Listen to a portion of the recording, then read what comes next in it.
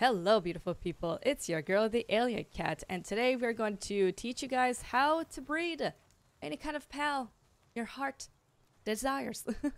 um, in order to uh, do this uh, process, it does take a little while. It, it takes a fair amount of uh, preparation also.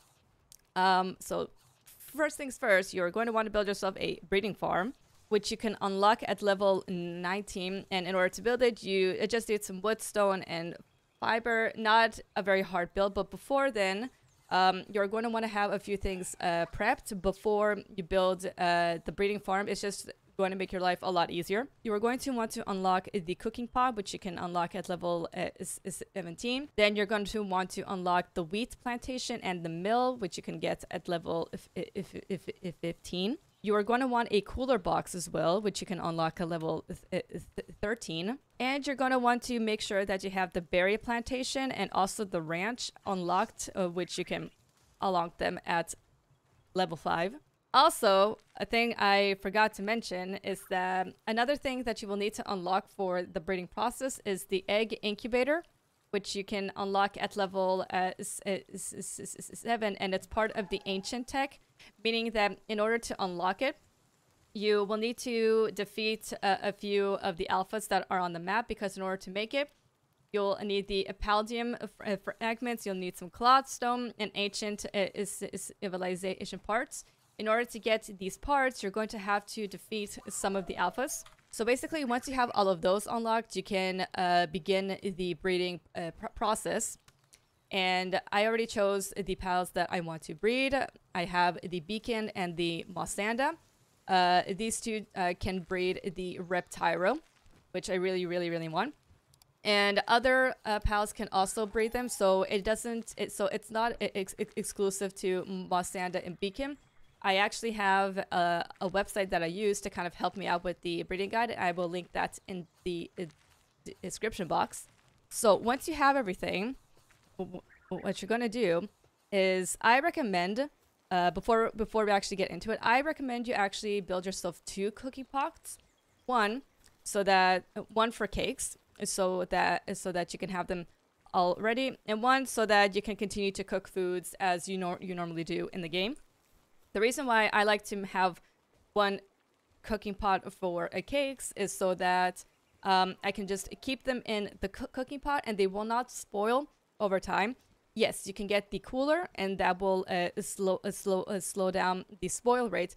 But I just think it's easier for me personally to just have them here. So what exactly do we need in order to make cakes? So you need a few things: flour, red berries, milk, egg, and honey. There are a few ways to get these types of ingredients. And what needs to be taken under uh, consideration also is that everything on the list, excluding honey, has a spoil time, meaning that they will start to decay over time. So when you start the breeding process, you need to be on it uh, to make sure that you have everything that you need and that they will not spoil over time, or just to make sure that you have a lot of it. I will deal with the sprayed and we'll continue with with, uh, with the tutorial. Everything on the list uh, has a spoil time except for honey. And I will tell you guys also how to get each and every one of them. Uh, we will start with the flour. So, in order to make uh, flour, you basically need wheat. And um, this is why you need to also unlock the wheat plantation uh, before you start this uh, process. Or even if you haven't uh, uh, uh, up until now. You'll, you'll want to uh, unlock it now. And the same goes for the berries as well. You're going to want to plant berry seeds and also the wheat ones. the berry seeds are very easy to get. Um, their shrubs are basically in most of this area. They're very common in other areas too. I just know that because everybody starts off here, they're very easy to collect. And you're going to want to make sure that you assign pals that can water, plant, harvest, and transport everything that you are growing in these um, fields, I guess you could call them. Now, once you have the berries and, the wheat, um, you don't have to do much with the red berries. They're already ready uh, to be used. But once you have the wheat, you're going to have to turn that into flour. The way to do so is that you make the mill and you will be able to make the flour from here and you're going to want to assign a, a watering pal to do so um, in order to create the flour. Um, as you can see, I have um, a fair amount of flour here, which I'm gonna, I'm personally going to uh, keep it there because I just like to have that bit extra that I can just qu uh, quickly grab if I need more. But that is the main idea. So we've talked about how you can get uh, berry seeds, but how can you get wheat seeds? There are a couple ways uh, to go about it. One way is that you can go to a wandering merchant and you can actually buy uh, the wheat seeds. Uh, they're only a, a hundred gold each. And what's nice is that this uh, trader also has the other ingredients that you also need in order to make the uh, cake. So if you're low on anything and you really want um, the stuff now and you have a fair amount of coins, you can always come to um, this merchant, which is in the uh, small settlement. You can get extras of the eggs and the milk and the berries. The only things you can't get here are are the honey.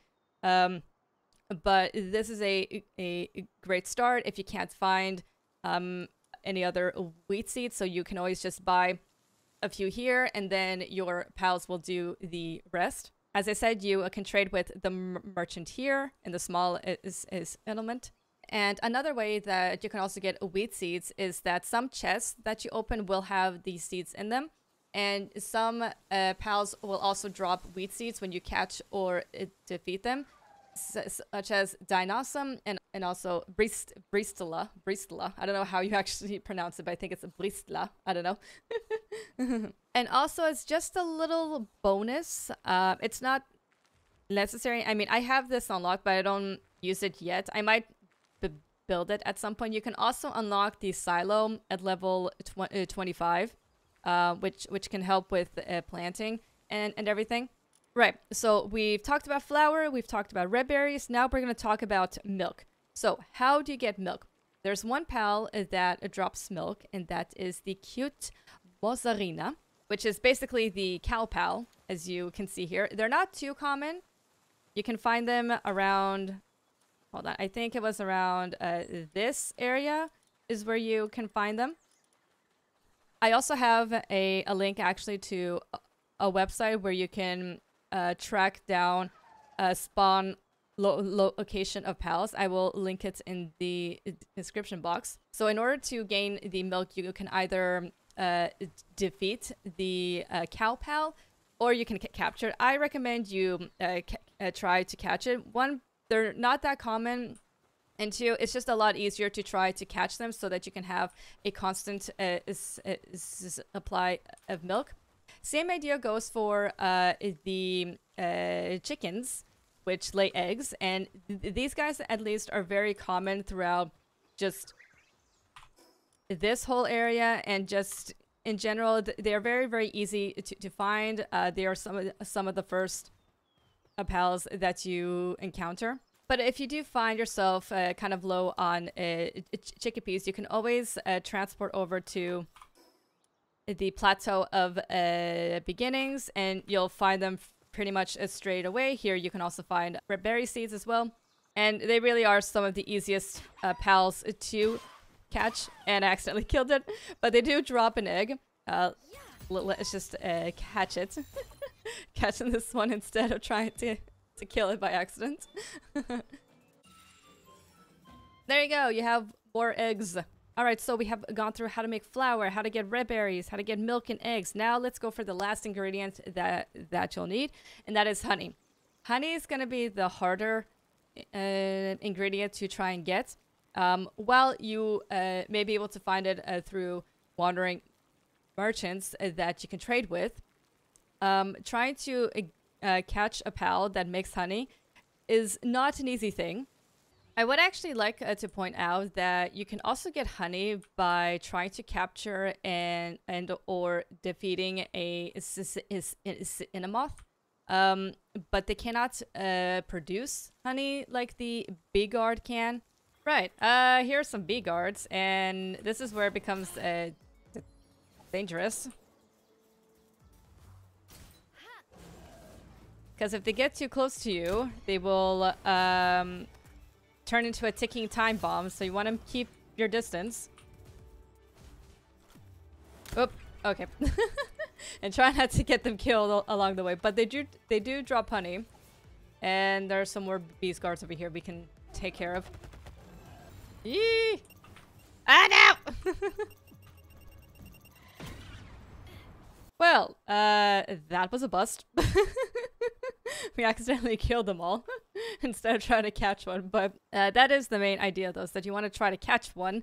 Uh, preferably have better spheres. Um, I just ran out of my uh, gigaspheres. The point is that once you have your Beegarde, once you have your Mo Mozzarina, once you have your uh, Chikipi, uh, you're going to want to place them all in the ranch so that they can uh, start to produce all of the things that that you'll need, which are uh, eggs, milk, and honey. And like we said before, honey does not expire, which is great and makes things a lot easier. So we have the flour, we have the red berries, we got the milk, eggs, and the honey. Let's make some cake. I'm gonna make uh, the max amount that I can make. It's only five, but that's alright. And for this process, you're going to want to use a pal that has a very, very high kindling. I think this one has three or four. Three. Um, I do have one that, that is four, actually. Let me bring him out instead. I think, uh, yeah, this one has four. Let's bring him out instead. Uh, so the reason why you want to use a pal uh, that has the highest kindling that you have on your base is because the process itself takes a really long time. It takes a while to make a, a, cake. Now it's not taking as long, but say you have a pal that is a level 1 kindling, it'll take a really, really long time. Alrighty, you have your cakes. You have the pals that you want to use in order uh, to breed. I'm I, Once again, I'm using the Mossanda and the Beakon to make it the uh, Reptyro. So after you have the cakes, we're just going to place them in here, in this uh, chest, and they will produce eggs, uh, just like this. And here you can also see the timer, how long it'll take for them to make the next egg. So it's, it's essentially the way it works. For every cake, you'll have one egg.